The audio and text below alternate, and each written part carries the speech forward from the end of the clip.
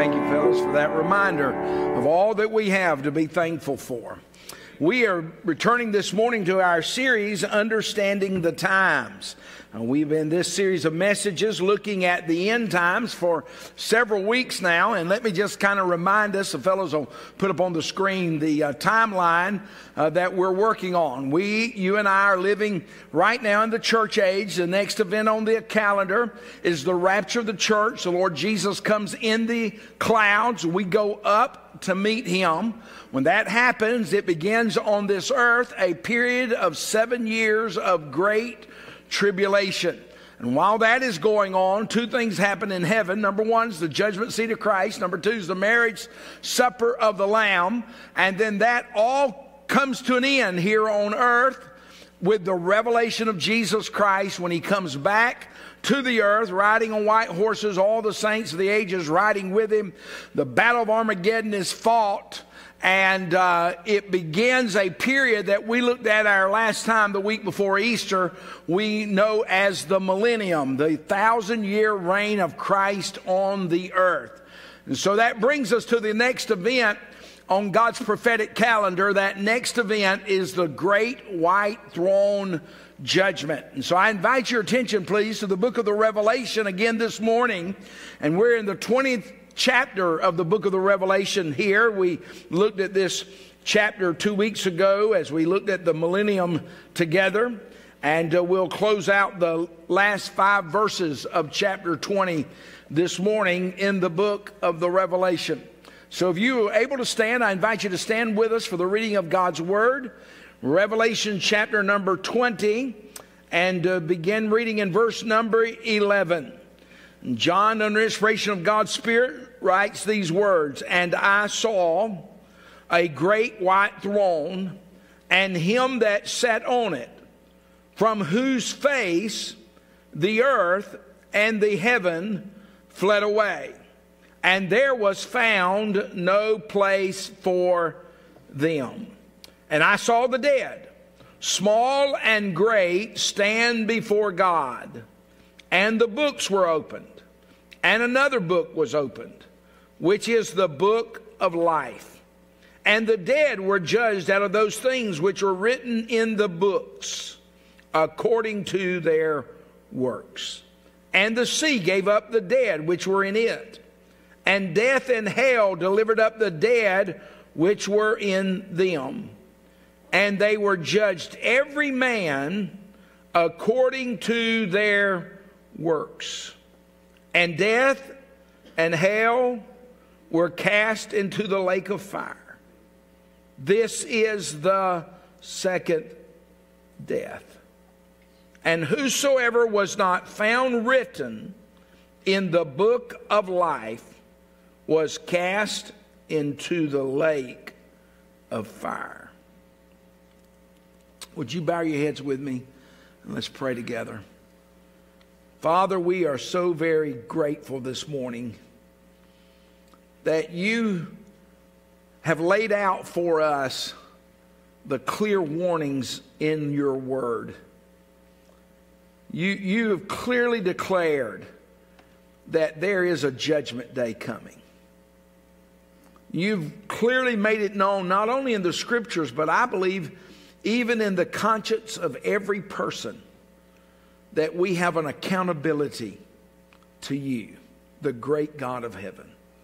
And so I pray today that if there's anyone in this room that does not know Jesus Christ as his or her personal Savior, I pray today they will flee this wrath that is to come upon them if they do not trust Him. And I pray for those of us who are saved, Lord.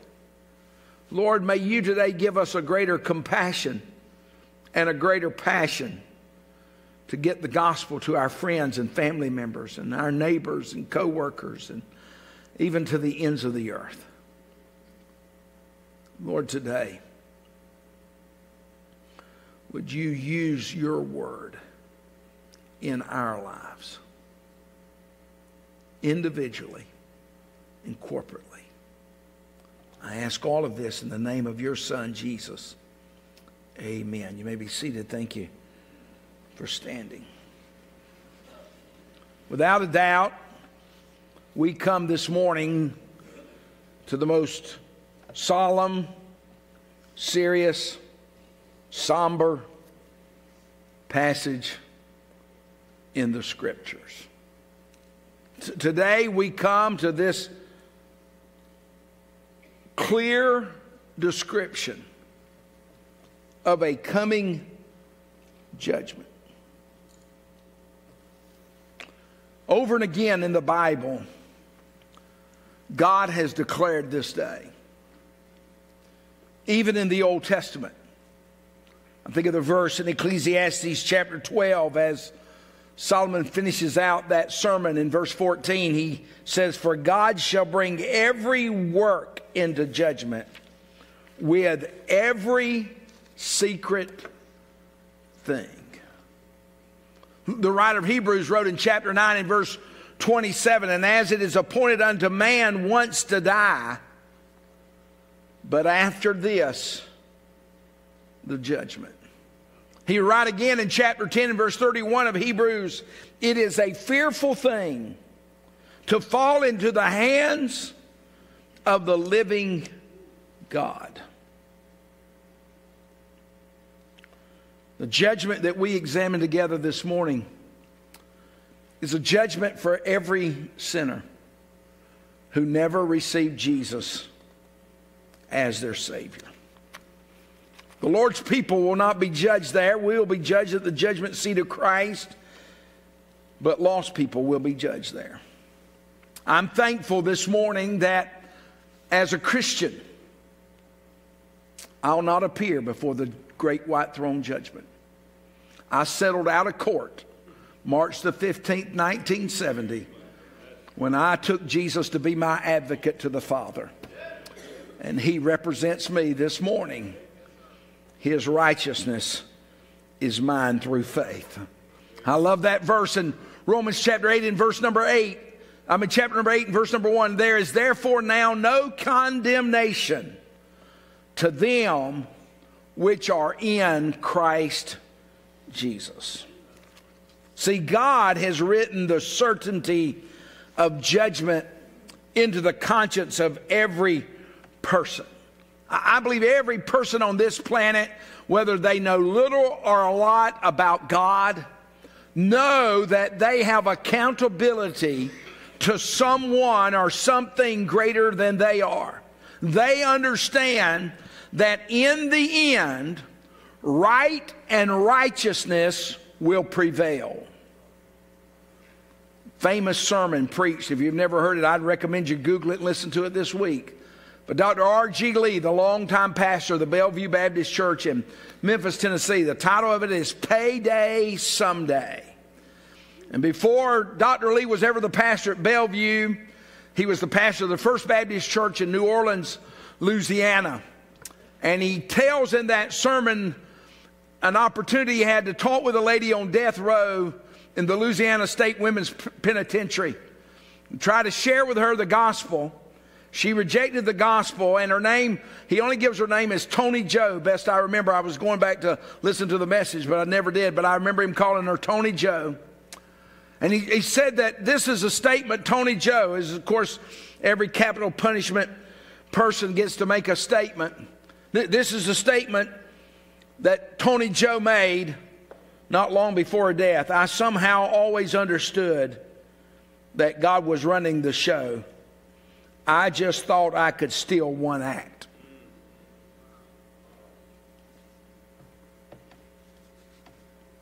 Friend, nobody is going to escape the judgment of God who rejects Jesus. The three aspects of this great white throne judgment I want you to look at with me this morning in our text. First of all, I want us to notice the judge. John opens this portion of scripture in verse 11 with these words And I saw a great white throne and him that sat on it, from whose face the earth and the heaven fled away. John saw a throne, but he saw more than a throne. He saw a sovereign judge sitting on that throne. Jesus, while he was here on earth, is recorded for us in John chapter 5 and verse 22. He says, For the Father judgeth no man, but hath committed all judgment unto the Son, that all men should honor the Son, even as they honor the Father. I believe that this judge is none other than Jesus Christ himself because Jesus declared very plainly that it would not be the Father who sits there in judgment, but rather the Son, the one who gave his life, who shed his blood so that he could redeem and rescue every person from this judgment. Listen to me. It is not God's will that any should perish, 2 Peter 3 9 says, but that all should come to repentance. Jesus did not die, friend, so you would spend forever separated from him. Jesus died so that you could spend forever with him.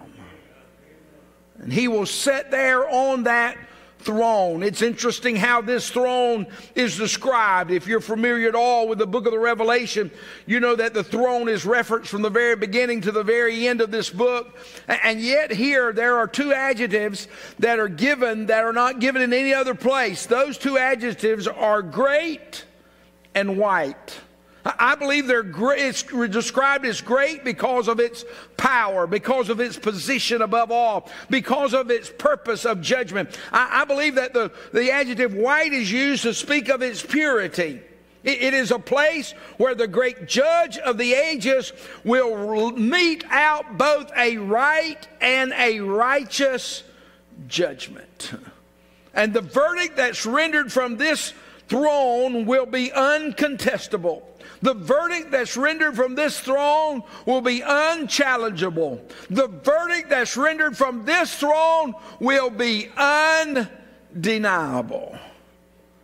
This judge can't be bought. This judge cannot be bribed.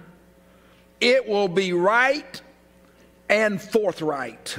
The psalmist said in Psalm 9, verses 7 and 8, But the Lord shall endure forever. He hath prepared his throne for judgment, and he shall judge the world in righteousness. He shall minister judgment to the people in uprightness.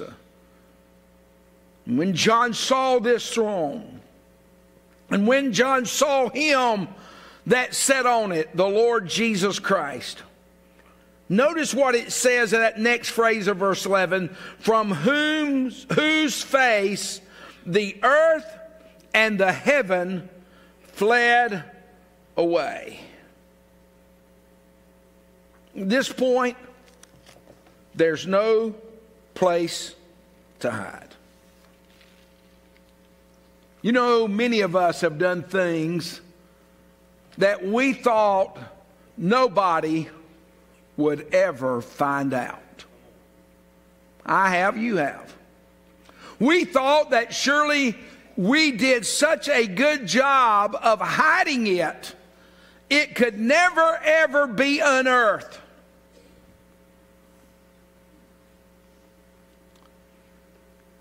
If that's what you're relying on, you will have no place to hide it. From his face, the face of Jesus, all of heaven and earth will flee away. Whatever you thought you were going to hide behind, or whatever you thought you were going to stand on other than the righteousness of Jesus Christ, at that moment will not be available. It's interesting to me, though, how he states it. It says, from whose face. We won't go back over there, but if you'll write it down or look at it later, Revelation chapter 1, when John first saw Jesus, one of the descriptive phrases he uses in verse 14 is his eyes were as a flame of fire.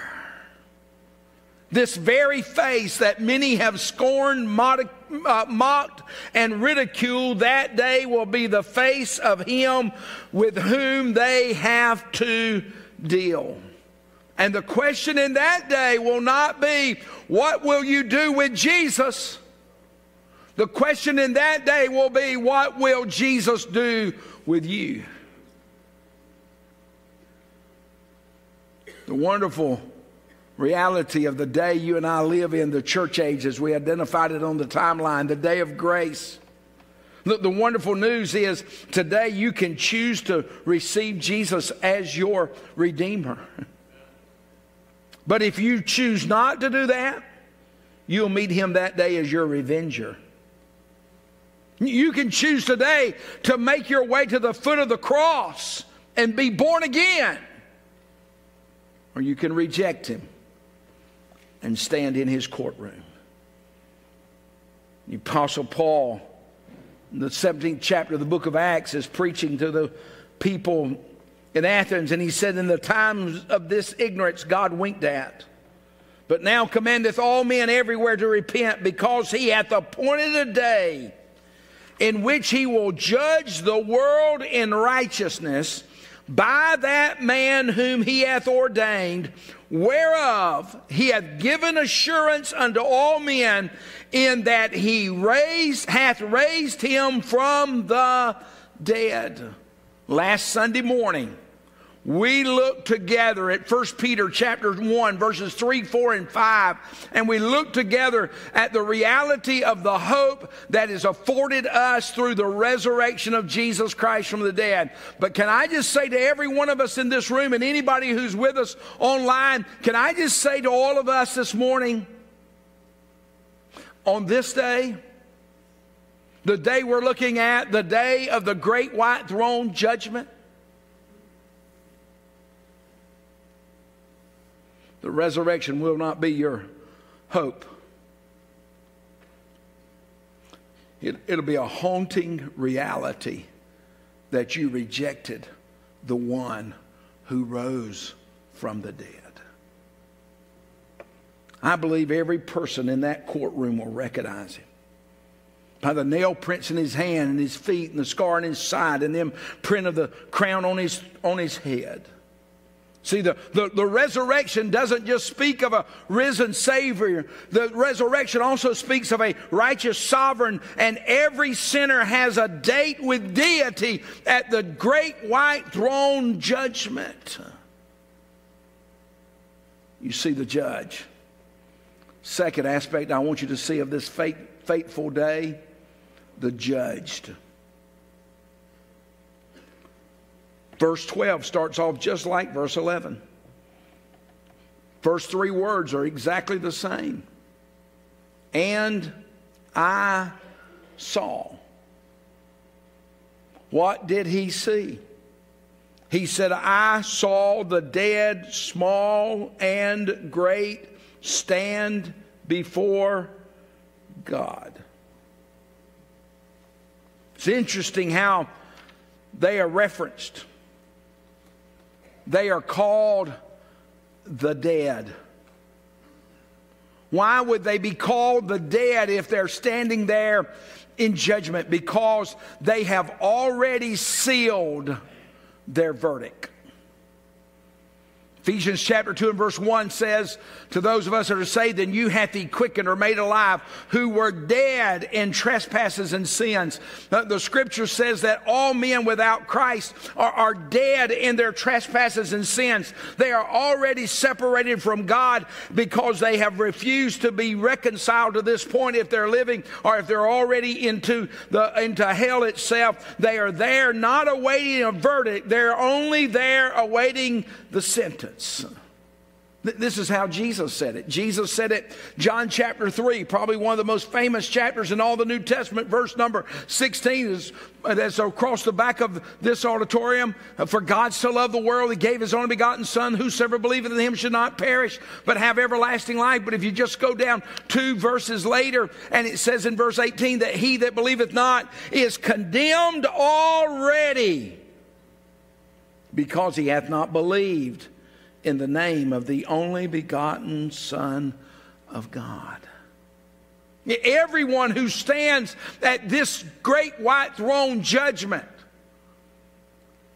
is not there for another opportunity to be saved, not there for another possibility to be born again, not there. with hope. It's hopeless. They're dead.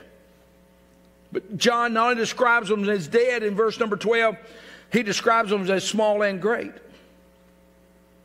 What does that mean? That means they'll come from all classes and all categories. The famous bank robber will be there, and the unknown petty thief will appear there. those whose sins were broadcast far and wide on media will be there, and those that had thought they hid their sins will be there. The blatant Christ rejecter, like Thomas Paine and Robert Ingersoll and Voltaire and Madalyn Murray O'Hair, they'll appear there. The men like Adolf Hitler and Joseph Stalin and Saddam Hussein and many others will be there. But those we never heard their names will appear there. The self righteous will come. Those who thought that their own morality could atone for their sins, and yet in that day, Jesus will say, Depart from me, I never knew you. Listen to me, there's nobody in this room this morning or living on this planet that's good enough to be saved. But the good news is there's not anybody in this room or on this planet that's bad enough and can't be saved. I'm not going to heaven because I'm good. I'm not going to heaven because I'm a pastor. I'm not going to heaven because I've been baptized. I'm not going to heaven because I'm a member of Beacon Baptist Church. I'm not going to heaven for any of those reasons. I'm going only because I settled out of court March the 15th, 1970, and put my faith in the shed blood of Jesus Christ, His death, His burial, and His resurrection. And I stand before Him this morning redeemed. And the good news is you can too. You're living in a day where you can still make the choice to believe on the Lord Jesus Christ. You do not have to make the choice to reject Him and go to hell. You say, Well, I'm just going to put it off. I was yesterday out knocking doors, and a dear man allowed me the privilege to open my Bible and show him the way of salvation. When I came to the place where he had to make a decision, yes or no, he said, I'm not ready. I called him by name and I said, uh, What makes you think you will be ready?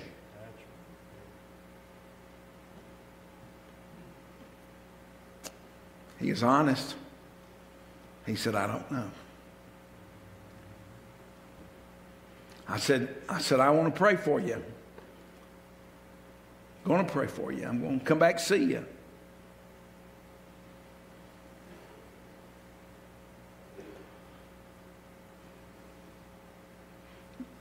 The lining before the great white throne judgment will be filled with procrastinators. I was planning on getting saved. I was this morning in the book of Acts studying the Apostle Paul standing before Agrippa. You know, you know what Agrippa said to Paul after Paul gave his testimony? Almost thou persuadest me to be a Christian. There's a hymn written, gospel song years ago. Almost sad, sad, that bitter well, almost, but lost. The religious will symbol there that day. Jesus said in Matthew 7, Many will say to me, Lord, Lord, have we not cast out demons in thy name? Lord, Lord, have we not done many wonderful works in thy name? There'll be a lot of Baptists there.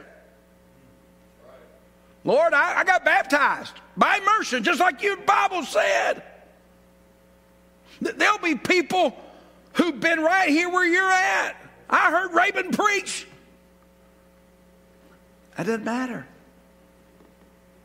What matters is have you received the Lord Jesus Christ as your personal Savior? Have you put your faith in Him? The dead, small and great, We'll stand before God. But we don't just see who's standing, we see the standard. Look at it. The books were open. Go down to the end of that verse. We'll come back to the middle part there. The dead were judged out of those things which were written in the books. What's the books? We'll keep reading. According to their works. Go, go to the end of verse number 13. And they were judged, every man according to their works.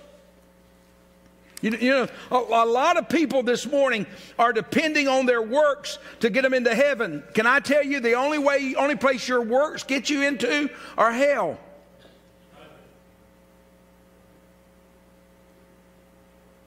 The only, only time works are going to be taken into account for eternity's sake is the great white throne judgment. And everyone who stands there is condemned already. And God's got the evidence. God's keeping a record.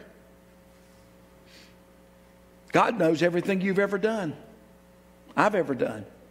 God knows everything you've ever said, I've ever said. God knows everything you've ever thought and everything I've ever thought. And on this day, the skeletons will come out of the closet. Jesus said, Luke chapter 2, verse 2 For there is nothing covered that shall not be revealed, neither hid that shall not be known. Verse 3 Therefore, whatsoever ye have spoken in darkness shall be heard in the light, and that which ye have spoken in the ear in closets shall be proclaimed upon the housetop.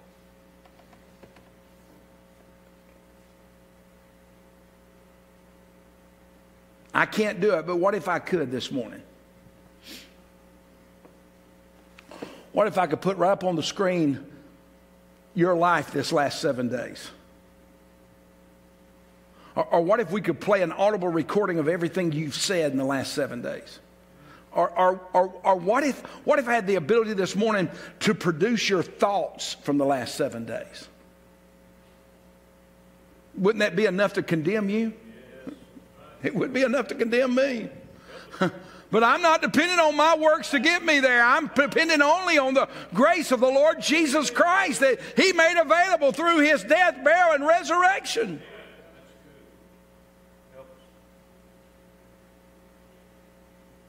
The books will be open. And when God opens the books, listen to me, there'll be no discussion, there'll be no debate, there, will be no defense. No, you cannot be saved by works, but you will be judged by your works if you do not receive Jesus.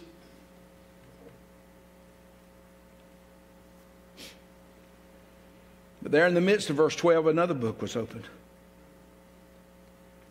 which is the book of life. It's referenced again in verse 15 whosoever was not found written in the book of life.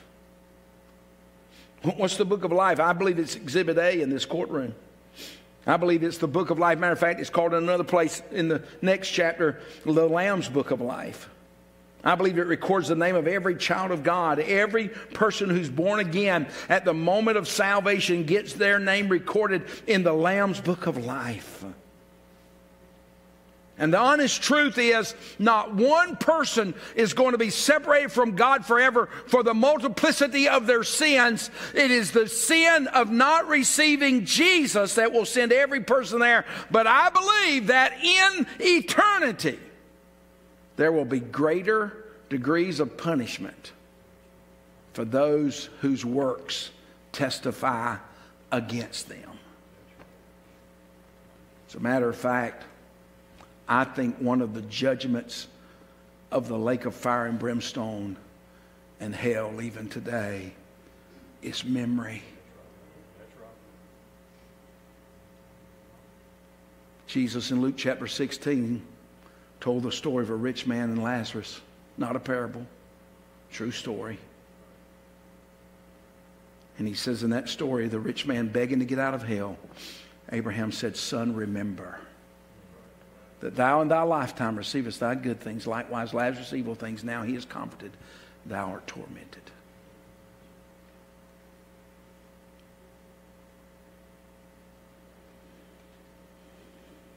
It even tells us where these people, what places they come from. Look in verse 13. It says, And the sea gave up the dead which were in it. Those buried at sea, they're going to come. Those buried at land, they're going to come. Death and hell is going to deliver up the dead which were in them. Earth will open up its grave, deliver the bodies. Hell will open up its mouth, deliver the souls who died without Jesus Christ. You say, well, Pastor, now, what is hell then and what is the lake of fire? Let me just try to explain it to us briefly. I won't go in a long dissertation on here. I believe hell is the place where every condemned person goes at the point of death who do not receive Jesus Christ. I believe there are people in hell this morning crying out, wanting relief, seeking a release. God's going to give them a temporary release. And they'll come and stand before the judge of the ages. And we'll see it in a minute. Then they'll be cast in the lake of fire. This is the way, the best way I know how to explain it to us. Hell is the county penitentiary where you wait trial. The lake of fire is, is, the, is the state penitentiary or the federal penitentiary where you stay forever. No one will escape that. Every one of them, again, will face their works.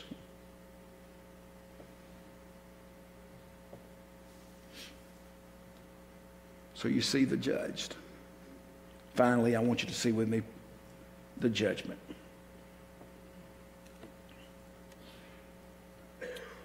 It is stated so emphatically, without hesitation, in verse 14. And death and hell were cast into the lake of fire. This is the second death.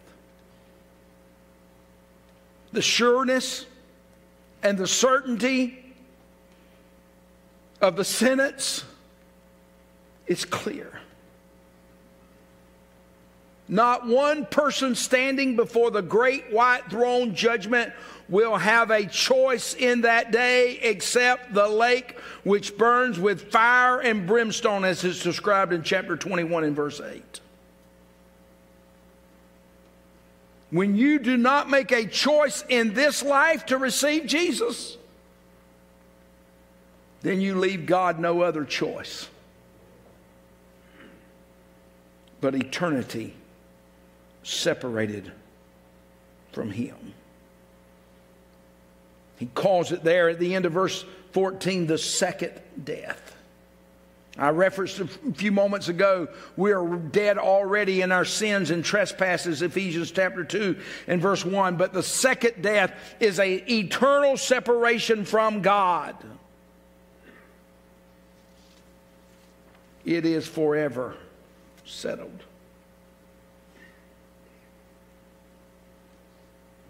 On that day, There'll be a judge, but there'll be no jury.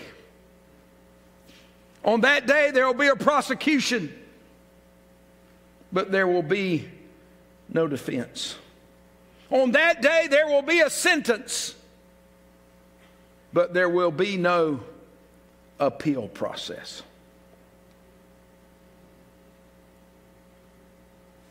And verse 15 rings out with ominous words. And whosoever was not found written in the book of life was cast into the lake of fire.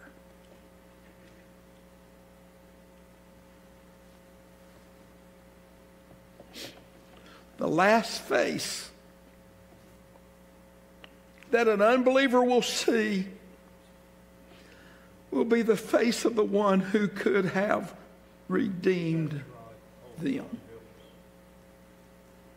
The last voice that an unbeliever will hear will be the voice of the one who could have saved them.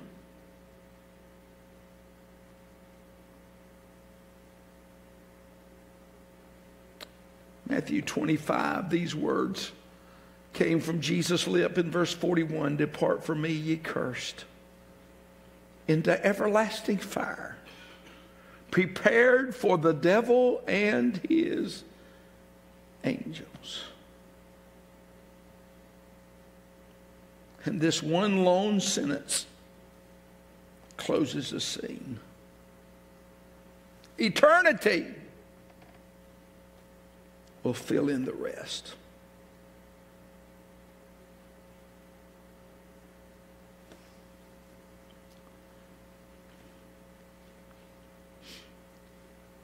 Friend, if you're here today without Jesus, don't take another chance. Because the reality is this you and I are walking on the precipice of eternity. We're walking on a spider web stretched over hell, hoping it holds. If you're here without Jesus, what a tragic mistake. Next Sunday, we're going to look at heaven and all the Bible says in its splendid description. It's interesting to me that that's how God closes out the entire Bible and this book, the book of the Revelation. Why? One reason resounds in my soul this morning. That one reason is God does it because He wants everybody to be with Him in heaven forever.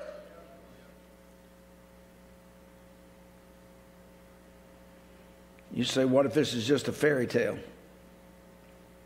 Friend, it's not.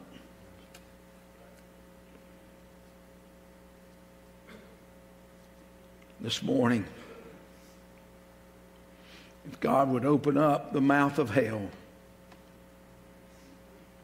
and allow us to see in for just one second, and you're here unsaved, you'd flee to Jesus. And if God would allow us who are saved to see,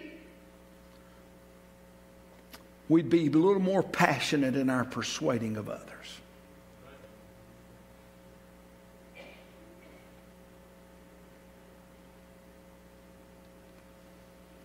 Friend, I take no pleasure in preaching this warning. There's a lot of other subjects in the Bible I would prefer to preach. But in order to be a faithful preacher and a pastor, I need to tell you the truth. You still have an opportunity to make a choice. I've testified already two or three times. I made my choice. March the 15th, 1970. I trusted Jesus Christ, who suffered my hell and eternity away from God, separated from the Father Himself, crying out from that cross, My God, my God, why hast thou forsaken me? But He forsook Him so He could receive me.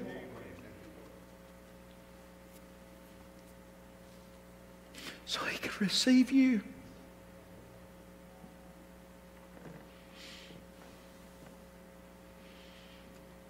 Don't allow Jesus just to be your sovereign, righteous judge. Receive him today as your rescuing Savior. Believe on him, trust him. And those of us that know him, let's be sure to share the good news of salvation with whoever God gives us an opportunity to do so.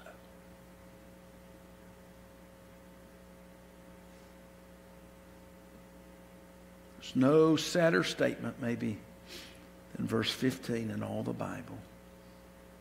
And whosoever was not found written in the book of life was cast into the lake of fire. Would you bow your heads with me?